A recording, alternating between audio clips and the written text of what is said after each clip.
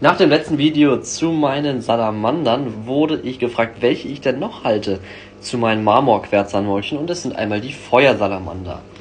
Da habe ich einmal, der ist jetzt ganz schön flink, da habe ich einmal hier das Weibchen, die Mama und einmal das Baby vom letzten Jahr. Ne, der Größenunterschied ist schon ein bisschen größer. ja, das sind die Süßen. Ich habe viele, viele äh, verschiedene Arten. Zum Beispiel habe ich hier auch orangene. Schaut auf jeden Fall bei meiner Instagram-Seite mal vorbei für mehr solche Amphibien.